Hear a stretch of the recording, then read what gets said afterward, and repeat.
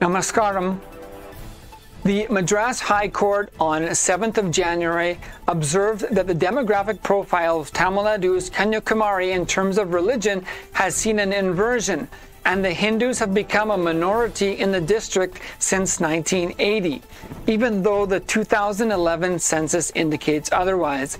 The judge cited that soon as many as 72% will, will be the percentage of Christians in Tamil Nadu's Kanyakumari district, which sits at this point at an estimated 62% Christian.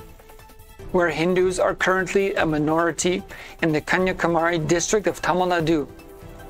The High Court bench of Justice G.R. Swaminathan made the observation in the order passed on a plea by a Catholic priest, P. George Ponnaiah seeking quashing of hate speech case filed against him for mocking Hindu religious beliefs at a meeting organized at Arumanai, a village in the Kanyakumari district, reports the bar and bench. The demographic profile of Kanyakumari in terms of religion has seen an inversion, the court said. Hindus became a minority in the district since 1980.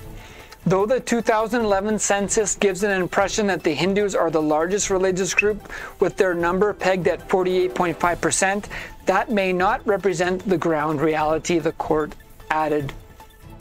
Reportedly, the court in its order further added one can take judicial note of the fact a large number of scheduled caste Hindus, though having converted to Christianity and professing the said religion, call themselves Hindus on record for the purpose of availing reservation. Such persons are called as crypto Christians, the court added. The order stated there was even a motion picture based on this theme, Rudra Thandavam. Out of courtesy, I refrain from mentioning the name of a judge who belonged to such a category. There was even a writ petition challenging his status. Everyone pretended as if they did not know the truth, but when he died, he was buried as per Christian rites in a cemetery.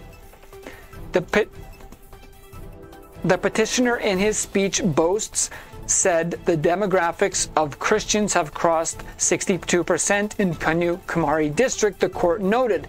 That is why, notwithstanding the census figures, the petitioner boasts that the Christians have crossed 62% in Kanyakumari district. He foresees that they would soon reach the figure of 72%.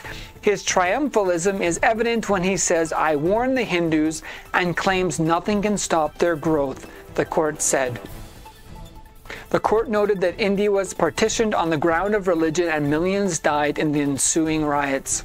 However, the court clarified that the Constitution guarantees fundamental right to profess and propagate one's religion, and if an individual based on his personal conviction wants to change his religion, his choice must be respected. However, the court noted importantly that religious conversions cannot be a group agenda.